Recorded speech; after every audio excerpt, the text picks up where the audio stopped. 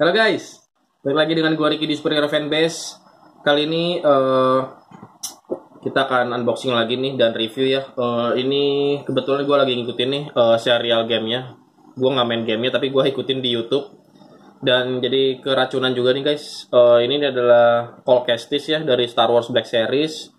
Dan ini dari eh, video game apa Star Wars Jedi Fallen Order ya. Fallen Order eh, Hasbro. Ini gue beli di Ion BSD di Kit Session. Ini lagi diskon 50% ya setengah harga. Jadi eh, netnya 300 ribu. Berarti tadi ini 600 ya guys. Cuman ini gue demen aja sih lagi ngikutin eh, apa serialnya nih di Red Bread nih ya di YouTube channelnya. Orkestis jadi mungkin baik yang belum tahu ya ini karakter apa sih gitu kan. Ini, ini karakter video game ya guys ya masih dari Star Wars eh, universe juga nih Oke, kita buka aja nih guys eh, packagingnya ya. Kita buka sebentar. Ada juga tuh yang apa? Eh tusunya tuh yang cewek tuh ya, eh, second sister ya. Mungkin nanti eh, di lain kesempatan gua akan ambil juga ya. Soalnya lumayan keren juga ya. Eh, apa namanya? lightsabernya itu eh, merah gitu ya, khas Sith Lord gitu. Ini udah buka ini cukup simpel kita seperti biasa kita cium dulu aromanya guys. Nggak ada yang istimewa sih biasa aja sih. Baunya biasa aja. Ini pedangnya. Oke guys. Kita langsung aja eh, review gimana sih kerennya si Paul Kestis ini si Jedi termasuk salah satu The Last Jedi juga nih selain Rey nih Oke guys, kita opening dulu. Check this out.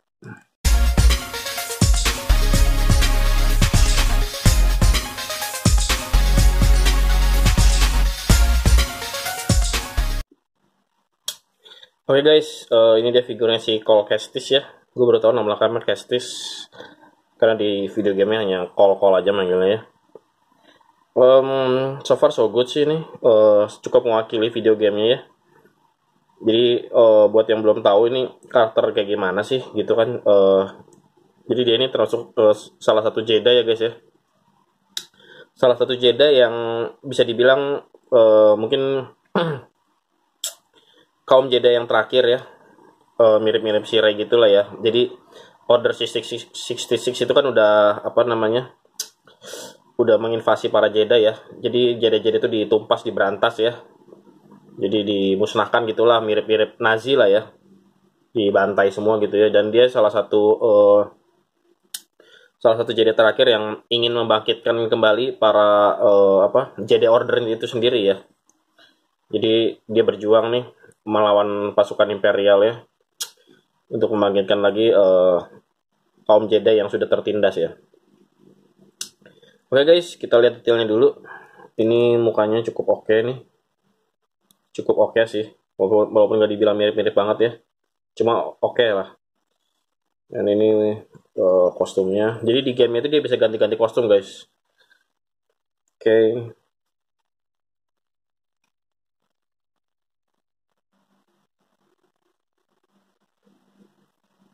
Ini kayak eh jadi di awal-awal cerita tuh dia di- diceritakan nih dia seorang pekerja apa sih scrapyard gitu ya di jang pesawat-pesawat eh, ini ya galaksi gitu ya. Dia kerja di kayak tukang loak gitu sih. Dan ternyata eh saya yang berjalan cerita ternyata dia adalah seorang Jedi ya guys ya. Cukup bagus sih eh, gamenya ya. Oke itu di PS4 kalau nggak salah. Dan ini sorry eh lightsabernya ini cukup unik ya. Gagangnya panjang gini aneh banget. Cuma ini kuat sih. Kemarin eh, lightsaber yang Luke Skywalker gue patah tuh gue lem ya. Jadi ini ini kayak kuat sih guys. Ini gagangnya. Dan ini dia punya droid juga nih BD-1 ya. Jadi dia suka nemplok di sini nih di pundaknya si Cal nih kalau lagi bertualang gitu ya. Suka nemplok sini gue nggak tahu sih sini kayak nggak bisa nemplok sih ya. Sayang banget ya. Jadi kalau si si Cole ini lagi jalan-jalan gitu dia dia suka nembok di sini. Dan dia berguna buat scan scan area gitu ya. Jadi ada fungsinya. Dan ini ada sedikit artikulasi sih di kakinya nih. Tuh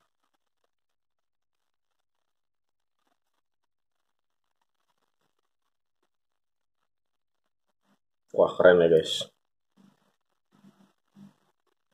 BD8 jadi kayak kakinya kayak kaki ayam gitu ya. Kayak ayam gitu sih oh, droidnya nih lucu juga ini ya. Artu ditunya game ini lah ya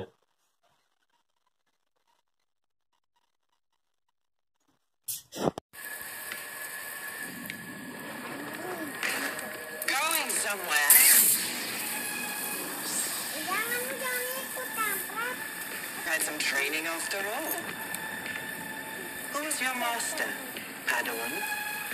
Someone I killed, perhaps? What Jedi gave their life so that you might live?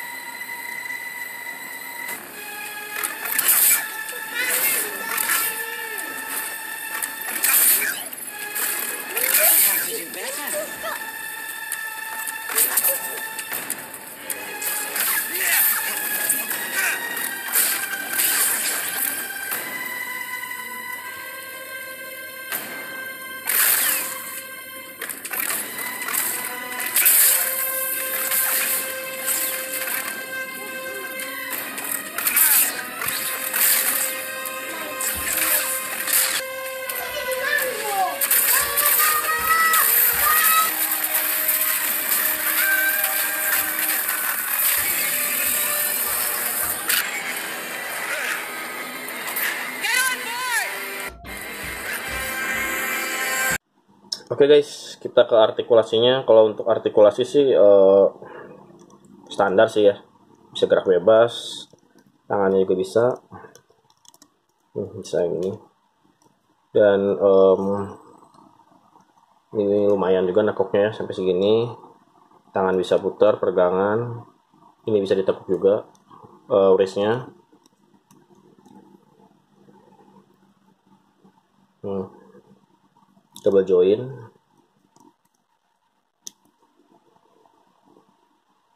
Double join juga.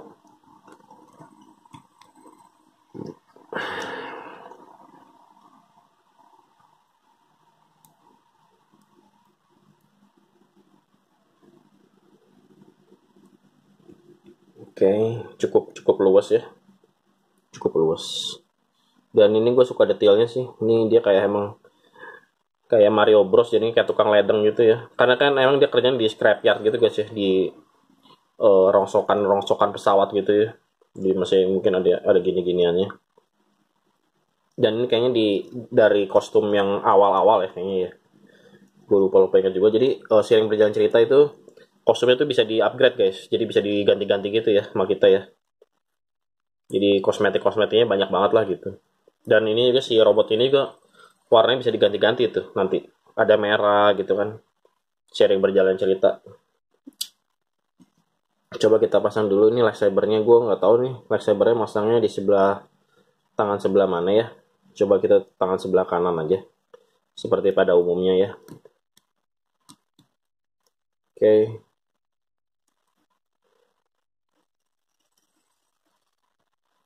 Wah ini cukup keren juga sih guys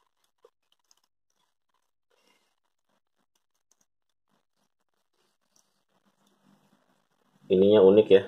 Gagang lightsabernya gede sendiri ya. Panjang banget gagang lightsabernya. Tapi eh, kalau nggak salah nih kan gue baru ngikutin eh, baru episode episode awal ya. Kalau nggak salah ini juga bisa di bisa di apa namanya bisa diganti-ganti juga nih eh, gagangnya ya. Di gamenya ya. Jadi banyak banget variatifnya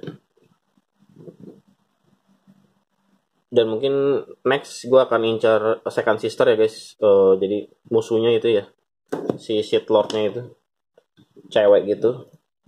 Cuma aneh banget namanya second sister ya. Mungkin nanti gue bisa jelasin kenapa namanya second sister ya. Sister kedua.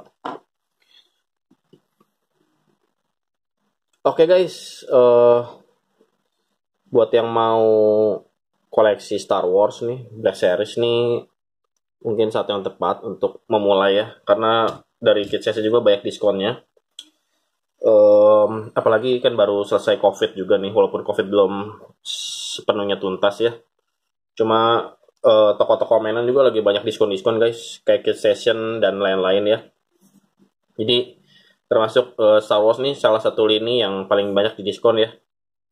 Mungkin karena peminatnya juga sangat segmented ya nggak umum ya.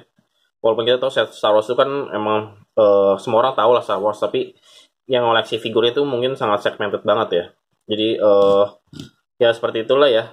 Kalian tahu sendiri ya. Jadi um, banyak juga figur-figur uh, Star Wars yang lagi di diskon ya. Kalian bisa coba cek uh, mungkin marketplace FB uh, maupun uh, toko fisik. Dan ini gue belinya langsung di toko fisik ya. Tadi gue jalan-jalan ke mall gue lihat wah ini boleh juga nih karena gue juga lagi ngikutin gamenya ya walaupun gue nggak main. Oke okay, guys. Sekali lagi thank you for watching. Please like comment share and subscribe. Dan nantikan video-video dari superhero fanbase berikutnya. Uh, happy collecting and keep collecting. Bye